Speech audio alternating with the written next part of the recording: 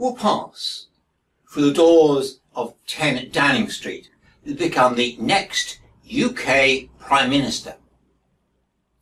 You may be interested to learn that I've actually passed through those doors myself. Not, you'll be greatly relieved to know, to become a potential Prime Minister. But that's another story. A door is a simple idea. It allows you to pass from one space to another. But if it's locked or barred, it can stop your passage. A door may be open to all or only a few, those with a key, and no one else. Of the four Gospels, Luke is the one who mentions doors most frequently. He uses them as a symbol.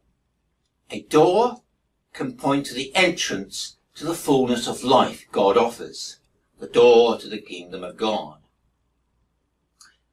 Today is one of those Sundays when different churches read different Gospels, but both alternatives come from chapter 13 of Luke. So let's look at that chapter as a whole. For those who read verses 22 to 30 will hear the invitation of Jesus strive to enter by the narrow door. A narrow door is difficult to get through. It's a squeeze. If you're carrying too much weight or too many possessions, you have a problem. Jesus' answer follows an inquiry about whether salvation is limited to an elite. On his way to Jerusalem, he is asked, Sir, will only a few be saved? At First, Jesus' answer seems to agree with this.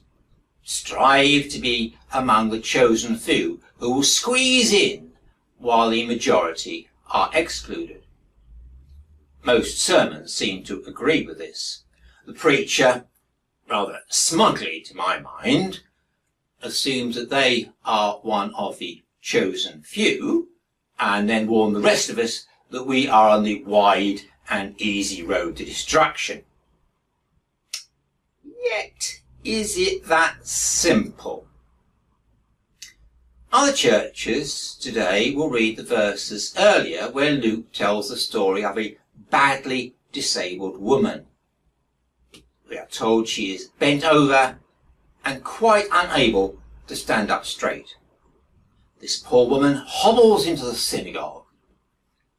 Are the doors open to her? Or will she feel shut out and unregarded? Jesus is preaching. When he sees her, he stops and calls her over. Laying hands on her, he speaks those words. Woman, you are set free from your disability. Luke tells us she immediately stood up straight and unsurprisingly begins to praise God. Jesus has flung open wide the gates of God's healing. She is not to be locked out from the fullness of life that God gives. However, he can't please everybody. The president of the synagogue is indignant. You can imagine the scene. Suddenly, everyone with an illness is pushing at the door, demanding to be healed by this visiting rabbi. It's chaos! The peace of the service is shattered.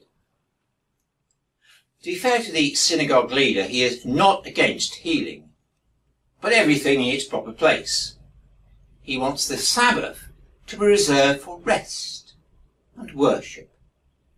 He sternly addresses the crowd.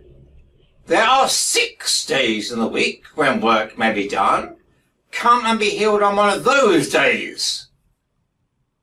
However, Jesus doesn't want the doors of God's healing to be narrowed down even by one day. Sure, the Sabbath is special, but he reminds that official that they all take a relaxed, common sense approach to the law. He asks, on the Sabbath, who does not untie his ox and take it for watering? You don't keep an animal locked away in a shed, especially on a hot day. You untie it. You lead it through the barn doors. You take it to its trough and allow it to drink. If an ox can be refreshed on the Sabbath, how much more can this daughter of Abraham receive God's full refreshment? The synagogue is right behind Jesus and cheered him on. Yeah! Back to the narrow door. If you read on, Jesus is actually attacking that smug elite who assume that they have the automatic right of entry to God's feast. Lord, open to us. You know us. You talked in our streets. We have eaten together. You're one of us. Yet it's this religious elite who may find themselves locked out. It's not the few special insiders who are allowed in, but the many.